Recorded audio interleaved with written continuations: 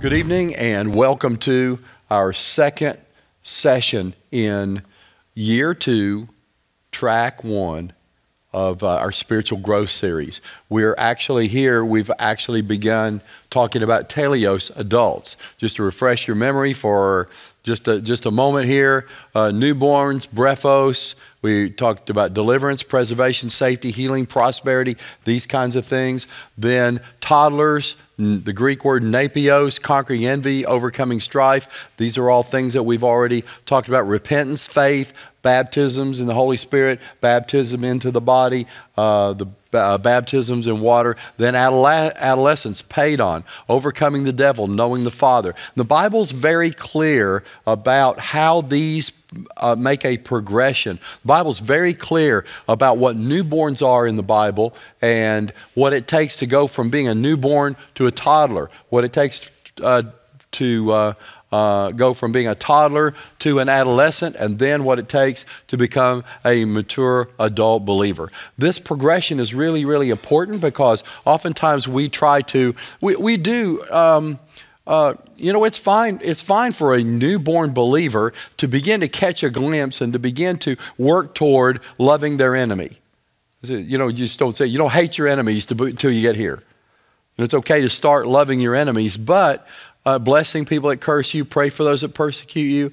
Um, you know, it's it's fine in all these stages to to work on these things, but uh, but I maintain that because of what the Bible teaches about spiritual growth, you won't come into the fullness of these things until you won't come into the fullness of loving your enemy until you first come into the fullness of overcoming the devil.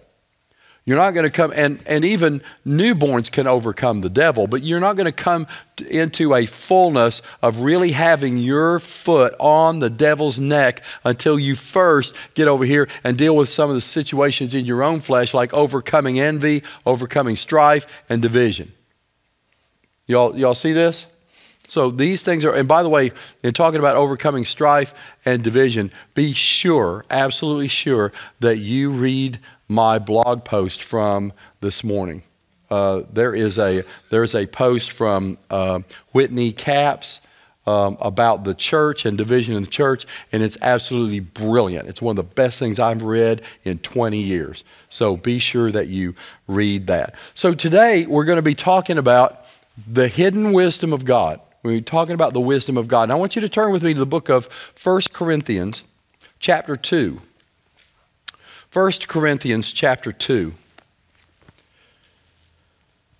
1 Corinthians chapter 2 in verse 6 start, talks about the hidden wisdom of God and talks about it in the context of being a mature believer or a teleos. In verse 6 it says, However, we speak wisdom among those who are mature, yet not the wisdom of this age, nor of the rulers of this age who are coming to nothing. But we speak the wisdom of God in a mystery, the hidden wisdom which God ordained before the ages for our glory. Now, I just want you to just want to point out that word in verse 6. However, we speak wisdom among those who are mature. You see that word mature? You can circle that, underline that if you want to. That word mature is the Greek word teleos teleos. It means a mature believer. Well, it actually means a mature person, a grown up, an adult. So here, Paul is saying we talk wisdom, we speak wisdom, the hidden wisdom of God among people who are adults. So, what Paul is saying is there are certain things about the plan and purpose of God that can't be comprehended by adolescents, toddlers, or newborns. You have to progress through these things. This is, this, this is not maturity yet. This is just, uh, this is just uh, uh, infant stuff, baby stuff. You got to go from here to here. There's so many people that they want to stay camped in the healing and prosperity messages. I've had people tell me, I've had people tell me to my face that uh, church is not deep enough for them because there's not enough teaching about healing prosperity. And what they do not understand, we need this. We got to have this. This is this is where we start. But when you start when you start messing in their business and talking about conquering envy, Hello, somebody. You start talking about conquering envy, overcoming strife, dealing with division, repentance. In other words, when you start talking about their heart, you got to deal with your heart matters. They say, oh, well, I'm going somewhere else because I got to go where it's deep, where they talk about healing and prosperity. No, honey, you got to grow. You need to grow from here to, and you got to deal with this stuff, and you got to do that so you can, uh, so you can get your foot on the devil's neck. Um, so you can understand how the anointing works. Some people think because they understand how healing and prosperity works that they understand the anointing. And they don't. That's a maturity level as all uh, uh, as well. The anointing, understanding visions, and then moving from there to understanding the hidden wisdom of God. This hidden wisdom happens because we've advanced through these levels, and now as an adult, you're ready to understand how this works.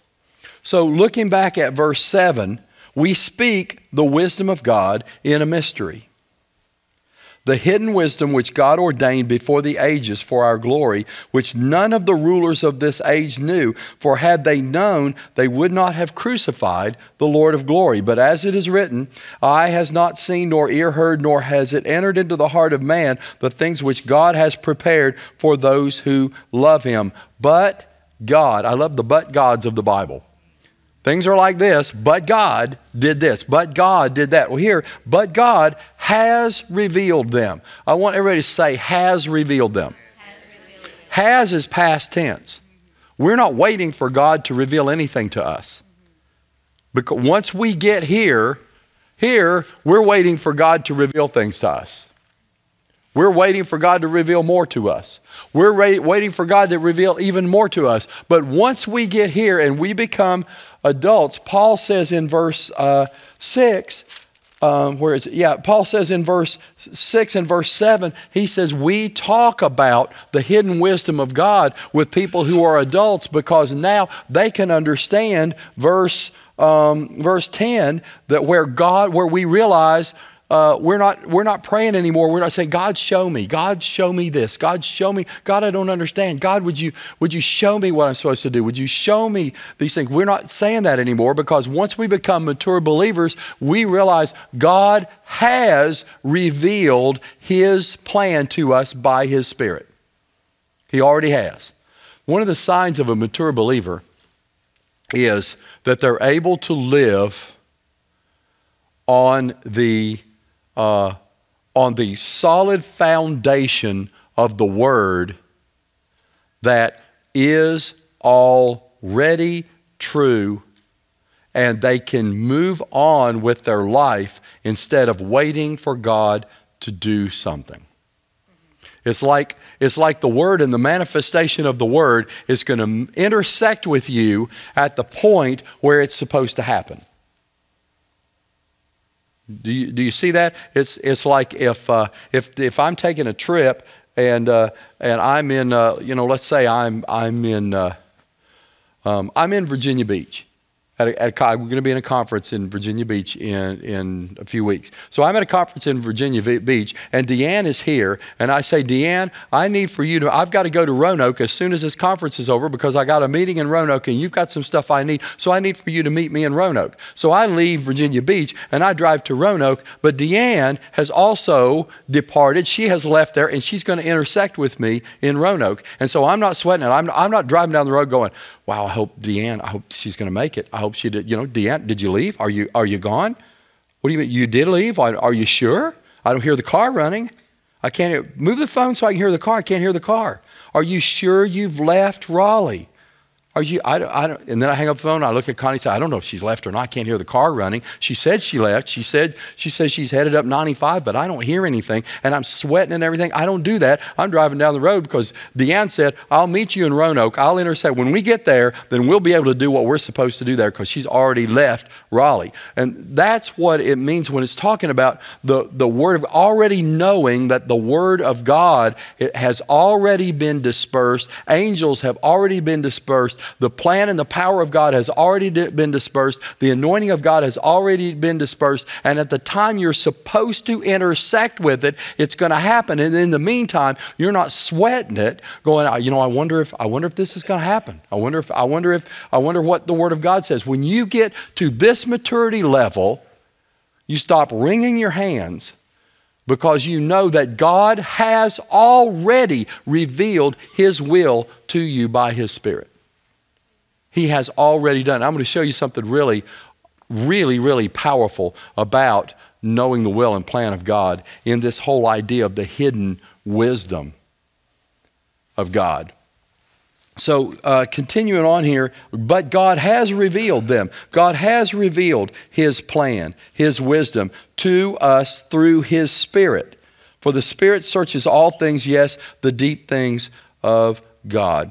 Um, oh, well, hang, hang with me just a second. I just, oh, that's not even the right program. Hold on, I'm not even in the right program.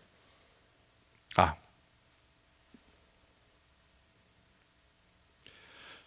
2 Peter chapter 1 verse 21 says this. First of all, looking at verse 10, it says God has revealed his will to us how? Through what? Through who? Through how? Can't hear you. This is not a trick question. Through his spirit, he has revealed his will, his hidden plan to us through his spirit. Now, watch um, 2 Peter 1.21. It says that the Holy Spirit revealed the wisdom of God in the Word of God. He revealed the wisdom of God to the holy prophets of old uh, who wrote down the will and the mind of God, and now you have it in your lap. You have the Bible. You have the hidden wisdom of God here. Uh, here in uh, 2 Corinthians 2.10, it says, God has revealed the will of God to us by His Spirit. So we know this is a spirit thing, but we don't have to walk around going, okay, the uh, Holy Spirit, the Bible says that, you, that the hidden wisdom of God is revealed to us through you, so show me, show me, show me, show me. He already showed us. You're holding it in your lap. This is it. This is the hidden wisdom of God. Now, when this was written, the New Testament church had the first five books of the Old Testament, which is the, uh, the Torah, that's the, that was the, the Bible that they had, and then the letters of Paul, and the, and the Bible actually says there in 2 Peter that, um, that Paul and Peter knew that they were writing Scripture when they were writing these letters. It wasn't just like a dear grandma thank you for the Christmas gift. It wasn't that kind of letter. These were, they knew that they were writing scripture when they wrote. And the Bible says that the Holy Spirit revealed the will and plan of God to the men who wrote the Word of God. So now we have the hidden wisdom of God right here. The, the, the passage, the, the term hidden wisdom of God is in the Bible five times. The hidden wisdom of God the great thing is, this is a very bold statement for Paul to make here to these guys to say, well, it's not hidden anymore. God has revealed it to us by His Spirit. So, how much better off are we because that hidden wisdom of God is actually written down on the page and we can read it? They didn't, when Paul wrote that, he said, God has revealed His hidden wisdom, his plan to us by his spirit. You know, maybe the Corinthians, when they read, read this letter from Paul, they thought, well, where is it? Where is it? You know, Holy Spirit, say something. Paul says that, that the hidden wisdom of God is revealed from you, and, and we don't have it. We're trying to find it. Well, praise God, we've got it. We've had it ever since the canon was written, ever since the word was written. And so now there is no excuse, there is no excuse for a mature believer to even have the slightest inkling that we don't know what the plan and purpose of God is. But I'm, I, I got something I'm, I'm trying to get to here that's going to really, because some of you are sitting there and you're going, well, but I don't know. I mean, that, sound, that sounds great, Pastor Steve. It's great preaching material, and I see it here on the page, but there are things I don't know that I need to know. I've got a job opportunity. I don't know if I should take it or not. Uh, we've got, I've got an opportunity for, for this. I got an opportunity to go to back to school, and, I, and I, maybe I should, maybe I shouldn't, and I'm not real sure what to do. And you're standing up there telling me that we already have, Paul says the Holy Spirit has already revealed to us the wisdom of God it looks great. I see it in the Bible, but I'm still dealing with stuff. And I don't think I have what you're talking about. I think you do, and I'm going to show it to you. Uh, verse 11 says, But what man knows the things of man except the spirit of a man which is in him? Even so, no one knows the things of God except the spirit of God. Only the spirit of God understands the things of God. God is. You ever have somebody who you ever know somebody who thinks they know you but they don't? Isn't that irritating? I, it's so irritating for somebody to look at me and say, "Oh yeah, I know, I know what you're thinking." Well, actually, you don't, because you don't know me as well as you think. Because who knows you? Your spirit, your own spirit knows you. God is saying the same thing. God is saying just like that's true about you. He's saying, "Who knows the mind of God except the Spirit of God?" Now, I want to read this passage to you out of the Amplified Bible. This is such such a powerful concept only the Spirit of God understands the things of God. In verse 11, um, this says, No one knows, no one discerns, comes to know, and comprehends the thoughts of God except the Spirit of God. No one discerns, comes to know, and comprehends the thoughts of God except the Spirit of God. And there are some people that, without the Spirit of God, they think they know the mind of God, they think they know who God is, or in some cases, who God isn't. Um, I mean, you know, for, for example, uh, I don't know if you've, uh, how many of you have heard of Stephen Hawking. Stephen Hawking is a brilliant, brilliant, brilliant mind. I mean, just to read his stuff, he wrote, uh, he's written uh, like about, I think, eight books, seven or eight books, A Brief History of Time, The Grand Design. And Stephen Hawking uh, says that he's an atheist, that there is no God that, that created the universe. Of course, uh, does anybody remember the name of the movie that Ben Stein made about, um, about God? It was in the movie theaters about five years ago.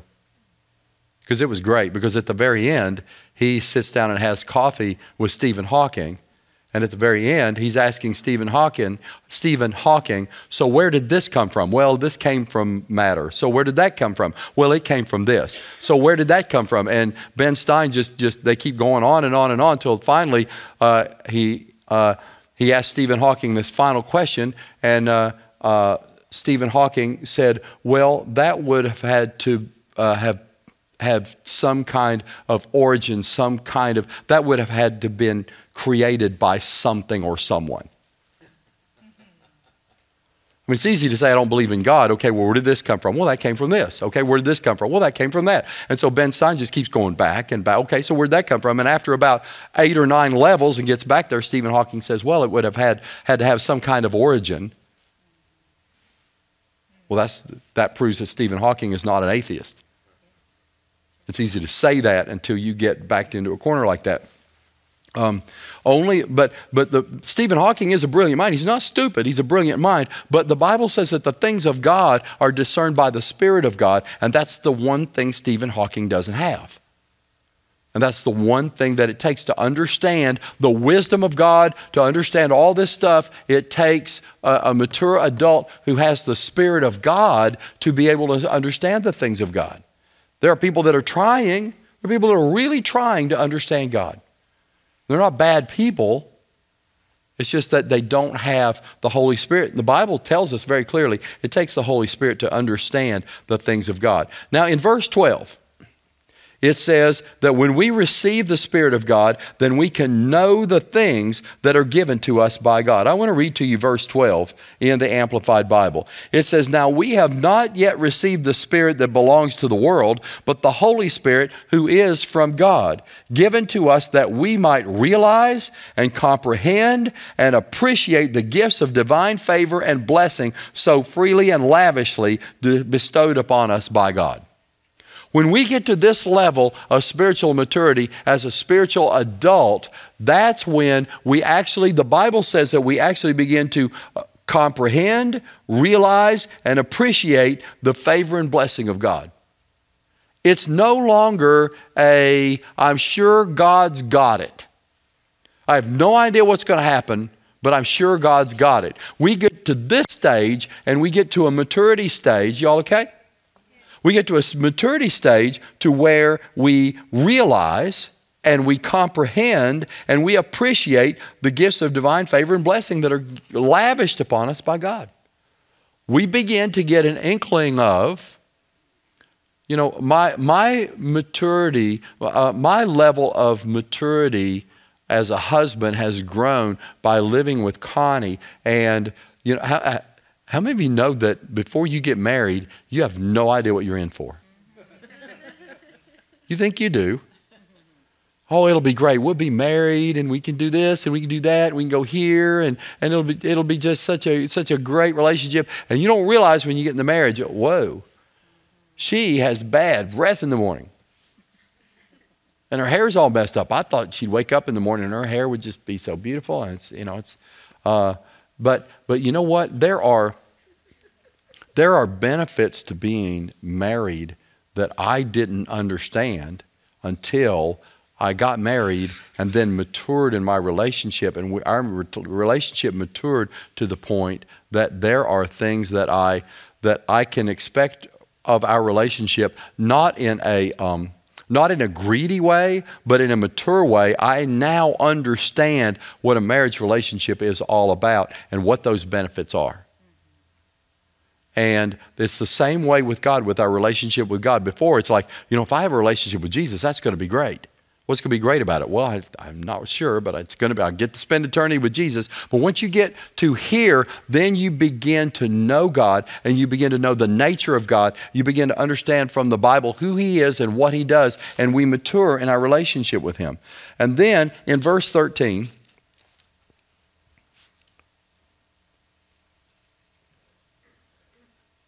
verse 13 in the Amplified Bible, actually verse 13 first of all in the in uh, new king james says the things which we speak not in words which man's wisdom teaches but in words you got to carry that word. In order to understand this scripture right here verse 13 you've got to carry that word the word words over. Listen to this.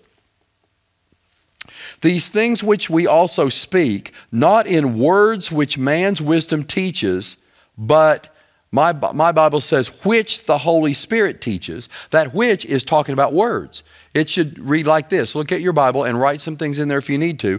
These things which we these things, the, we're talking about the wisdom of God, we also speak not in words which man's wisdom teaches, but in words which the Holy Spirit teaches, comparing spiritual things with spiritual.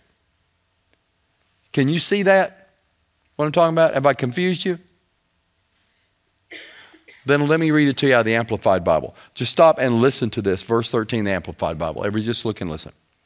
For we are setting these truths forth in words, not taught by human wisdom, but taught by the Holy Spirit, combining and interpreting spiritual truths with spiritual language to those who possess the Holy Spirit. Does that clear it up a little bit? What that means is that the spiritual truths by God uh, and interpreting spiritual truths, we do that with the spiritual language of the Holy Spirit. Amplified Bible. If you have an Amplified Bible or if you have a, a, Bible program where you can access it, read that, that scripture later because the hidden wisdom of God is, uh, is revealed to us when we, when we pray in the Holy Spirit, when we use our prayer language in conjunction with the Word of God. One of the things that's concerning to me as a pastor is I see people read their Bible and then I see people put their Bible down and pray in the Holy Spirit. And then when they're done praying in the Holy Spirit, then they pick their Bible up again and they read their Bible. And what we need to do as mature believers, what verse 13 is telling us to do is if we want to understand the hidden wisdom of God that's in the Word, we need to read the Word and pray in the Holy Spirit at the same time or interchangeably. Maybe not at the same time, but, but Holy Spirit, thank you that your will has been revealed to me in the Word. And then pray in the Holy Spirit, pray in your prayer language as you're reading the Bible. And it'll amaze you the things that the Holy Spirit reveals to you in the Word. It'll, it'll amaze you. It's a whole, because listen, this is a spiritual book. You don't read the Bible like you read the New York Times. You don't even, listen to this, you don't even read the Bible like you read a Christian book. No matter how deep the Christian book is, you read the Bible. This is a, a Christian book can give you a lot of great insight. And I mean, it's great to read and supplement that stuff, uh, supplement what you're uh, uh, learning with, with what people have, what's been revealed to them. But this is supernatural. This is what the Holy Spirit breathed on. This is supernatural. And when you pray in the Holy Spirit and you read this, things will come alive to you in the Bible that you've never seen before. Things that the, the hidden wisdom of God just comes right off the page and comes right up to you. I, you know, I, I had somebody maybe a month ago say, how do you, how do you get all that stuff? I, well, they, they wanted to know what commentaries I used. And, and I use, I'm not so spiritual, I can't use commentaries or learn some things, but they said, where do you get all this stuff that you teach us? Where do you get it? Who, who did you, who gives it to you? Um, and I said, well, the most important thing I do is lay my hands on the passage and pray in the Holy Spirit and ask the Holy Spirit to show me. Well, my, my sermon preparation begins, begins with a Bible, a blank legal pad, and a pen sitting in a chair with a cup of tea during the fast, cup of coffee after Sunday, and pray it in the Holy Spirit and saying, what do you want to say to the church? What do you want to say? The message that I'm going to deliver Sunday, once we're done, once you're done, what do you want people to leave here with? This past Sunday, what the Holy Spirit said, I want people to leave the church. How many times have I taught on tithing in 20 years? You know, how many times? He's never, I've never done that. He's never said, he said, I want people to understand that tithing is plowing the ground for their seed. Oh, so then I get a concordance and I start looking up things and I'm going, wow, this is everywhere. Look at this. Look at that. Wow, that's good. Look at that. Oh, hey, look at that. And I'm writing all this stuff down and I'm praying in the Holy Spirit and He's given me this message. And if you'll do that, you may not stand up here on a platform and preach a message that the Holy Spirit gives you, but if you'll lay your hands on the Bible and pray in the Holy Spirit and ask the Holy Spirit, He will reveal things to you, the hidden wisdom of God that's in this Word. But I'm, I'm not, uh, I've got to be sure that. Uh, um, that I get to this one thing. Verse 13. No, we, that's what we just read. Oh, good. Here's what I'm going to get to. But the natural man does not receive the things of God, for they are foolishness to him. He cannot know them because they are spiritually discerned. We want to we want to be open uh, but, but he who is spiritual judges all things, yet he himself is rightly judged by no one. We want to be open and we want to be a blessing to people, but, I, but I'll tell you, sometimes uh, you need to wait until people are ready to hear the word. I don't argue with anybody. I mean, I'm just up to here with arguing, you know, and I, I can sometimes I can tell somebody, will, I can tell when they walk up the aisle, well, here comes somebody, you know. And so when they're looking at a, pas- a passage, and it's the way they ask. I want you to explain this one thing to me. And it's just the way, and I can tell it doesn't matter if, you know, uh, the Apostle Paul could walk up beside me and explain the scripture to them, and they still, they have decided uh, you're wrong. And I don't, I don't get into it. I just, you know, God bless you, brother. Well, I believe this passage means this. Good, bless you. You know, let's don't, I'm not going to come to fisticuffs with you over that because, listen, the Bible is spiritually discerned and it says that the natural mind cannot understand the hidden wisdom of God. Can't understand it. So, how many times have we had relatives, friends, coworkers, and every time we go into work, you know, we're trying to wrestle each other to the floor with it means this, no, it be. Tongues passed away with the age of the apostles. No, they're still practiced today. No, they passed away. No, they're still here. No, they passed away. No, they're still here. You know what? I just assume not argue with you about it. Uh, because the natural man cannot, I can, you know, maybe, oh, and, and then we find another scripture and we think, oh, I'll take this scripture to work tomorrow and this will show them. Not if they have a natural mind, they're not going to get it until they have a spiritual mind, and then the Holy Spirit can show it to them. Now, I want to close with this, and this is going to really, really help you. Verse 16.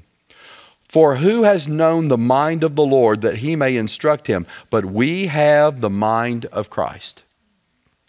I want to say, I have. I have. See, we're not trying to get the mind of Christ.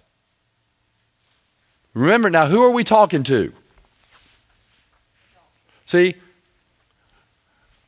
Trying to tell these people you have the mind of Christ is, I mean, everybody, you see it in the Bible, so you know it's true, but it's really, it's hard to operate in the mind of Christ if you're, if you're still dealing with envy and strife and division, deception, and you have things you need to repent from. Trying to convince this person you have the mind of Christ when they haven't dealt with these things. You see how this progression works? Trying to convince this person you have the mind of Christ, and they see it in the Bible, and you can go around and say it. You can confess it over yourself. I have the mind of Christ. But if you haven't dealt with this, you're not ready to walk in this. Okay? So now, you know, once you've dealt with that, dealt with that, dealt with this stuff, overcoming the devil, understanding the anointing, uh, and these kinds of things, then you can get to the point of understanding the hidden wisdom of God. And then you can say with confidence, I actually really do have the mind of Christ. But what is the mind of Christ? In order to understand the mind of Christ, and I got four minutes to finish this in. In order to understand the, the, what this passage means when it says we now have the mind of Christ, the word Christ means, refers to the anointing of God. There are three words in the Bible that refer to uh, uh, Jesus, the Lord Jesus Christ, when he was on the earth. And it's those three words Lord, Jesus, and Christ. Anytime in the New Testament that you read the word Jesus, it's referring to the humanity of Jesus. Anytime you see the word Lord, it's referring to the authority of Jesus. And anytime you see the word Christ, it's referring to the anointing of Jesus. So you'll see some passages and it will say the Lord Jesus Christ. It's referring to, and that passage, in order to interpret that passage about the life of Jesus accurately, it's talking about all three things. It's talking about his, his humanity, his lordship, and his anointing. But sometimes it will just say the Lord Jesus. That's referring to his authority and his humanity. Sometimes it just says the Lord, referring to his authority. Sometimes, like right here, it just says Christ. This does not say that we have we now have the mind of Jesus. That's how we've interpreted this. We have the mind of Jesus. It doesn't say that It doesn't say we have the mind of the Lord. Uh, you know, we've confessed, you know, I have, I have the mind of the Lord. Actually, no. It says we have the mind of Christ, which means we have what?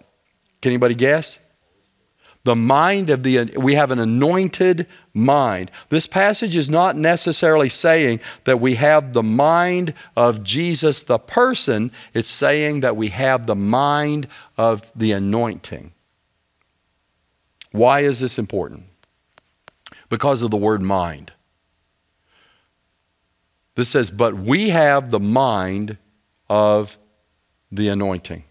The word mind, and, the, and you're going to need to write this down, and uh, uh, I really want you to get this. The word mind in the Greek language is the Greek word nous, N O U S. Nous. And I'm going to say this twice so you can get this because this is going to be amazing. It's going to really help you. When we're talking about you have the mind of Christ and you think his thoughts and we know the will of God, many of you are sitting there, there going, but I, if I have the mind of Christ, I sure don't know what's going on. The word mind in the Greek language is the Greek word nous, N O U S, and it means, I'll say it twice, the psychological facility of understanding, reasoning, and deciding. The Dictionary of Biblical Languages defines the word nous, N O U S, as the psychological facility of understanding, reasoning, and deciding. Everybody got that, or you want me to say it one more time?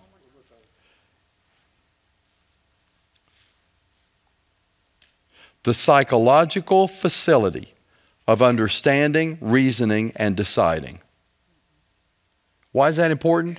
When this says we have the mind of Christ, this is not talking about thoughts. This is talking about the ability to think through things. And this is where, this is, as opposed to knowing facts, when we're saying, well, you have the mind of Christ, we think that means, well, then we should know everything. But that's not what that word mind means. The word mind means it's the psychological facility of understanding, reasoning, and deciding. In other words, God, who knows everything, also has the. Many of you know if anybody could think through something, it would be God? See, and I never thought about this before until I explored this word because I always just thought God just automatically knew stuff. It's, it's hard for me to comprehend God sitting up there and thinking through something and deciding something.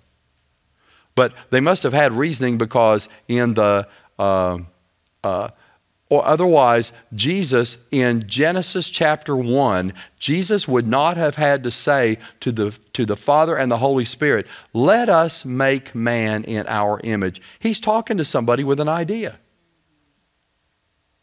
It's not that, they all, that they're standing there telepathically, just already automatically knowing stuff. But in Genesis chapter 1, Jesus says to the Father and the Holy Spirit, Let us make man in our image and after our likeness.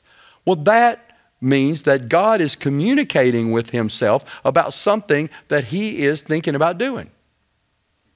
I mean, you know, whatever God thinks about doing is right.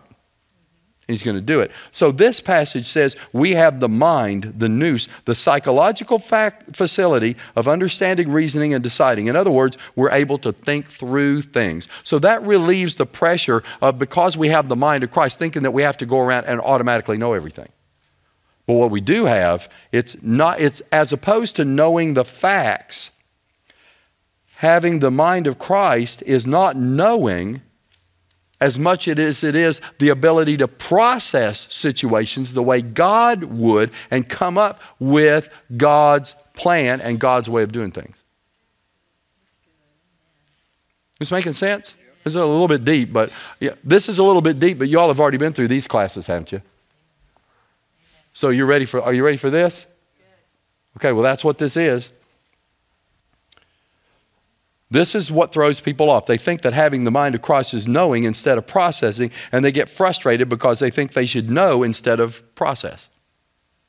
So now, with the mind of Christ, whatever you're dealing with tomorrow, if you go into work and, uh, and you have a situation and you don't know the facts and you don't know exactly what to do, what you do need to realize that as a mature believer, you have the mind of Christ and you have the ability to process and think through things to come up with the result that God wants you to come up with. And um, so that's why Romans chapter 12, verse 2 is so important. Romans 12, 2 says, Don't be conformed to the world, but be transformed by the renewing of your mind so that you can prove what that good, uh, acceptable, and perfect will of God.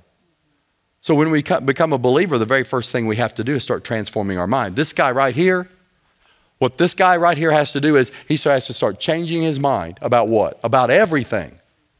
About everything. These people did me wrong and I'm going to get them back. No, well, we're going to try to grow you into a toddler so you realize you got to conquer envy, overcome strife, deal with division. You got to repent, of your, uh, of your nasty nature and all that. And we're trying to grow people, and we do that by renewing our mind with the Word of God so we can think God's thoughts, think His Word after Him. And so when we do that and we're processing things, what comes to our mind? It's not our flesh stuff or all that stuff, but as we're processing things, once we're a mature believer, a teleos, we're, we've matured to the point that it's the Word of God that we think, and we're able to process situations with the Word of God God and come up with God's plan, God's way of dealing with the situation. Are you good? Did you get that? I mean, is this something you can use, something you can work with? It's, you know, we're talking about the hidden wisdom of God, and Paul said God has already revealed this to us by, our, by his Spirit. Amen? Amen? Amen? Good, good.